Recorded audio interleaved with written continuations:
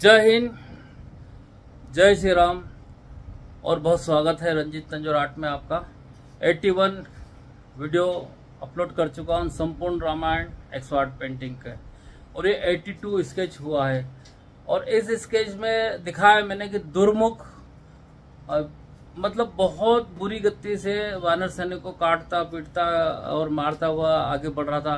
तब हनुमान जी और उसको, और दुर्मुख का युद्ध होता है। और हनुमान जी दुर्मुख का अंत कर देते हैं। और ये खबर जैसे ही रावण को मिलती है तो वो आश्चर्यचकित रह जाता है कि दुर्मुख, जो कि यम का मुख है, इसके काल के गाल में कितने ही सेना सेना नायक सेनापति और अच्छे अच्छे योद्धा समा गए हैं। उसको किसने मारा है? तो वो बताते हैं कि हनुमान जी ने। तो बहुत ज़्यादा हनुमान जी के प्रति खिसिया जाता है वो।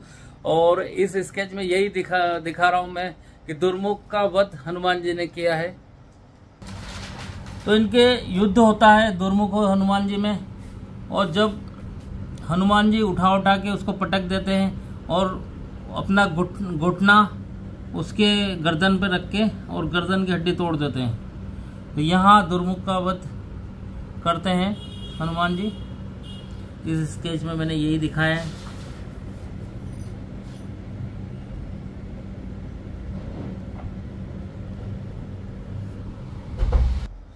तो दोस्तों 82 बयासी स्केच का वीडियो बन रहा है।